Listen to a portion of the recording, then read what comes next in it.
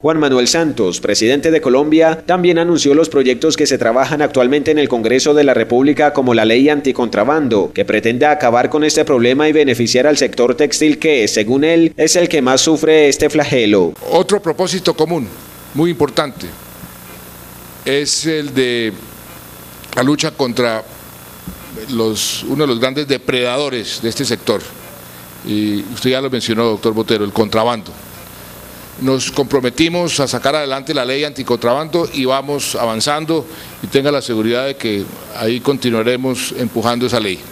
El Congreso se acaba de instalar y ese es uno de los temas que vamos a pedir al Congreso que lo apruebe rápidamente.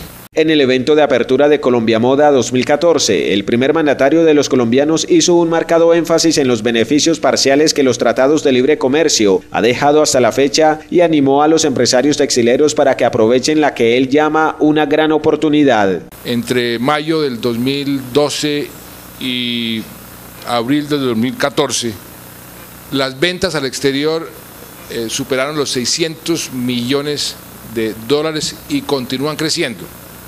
Por ejemplo, 1.600 empresas empezaron a exportar, que antes no exportaban, eh, de las cuales de esas 1.600, 251 son confeccionistas.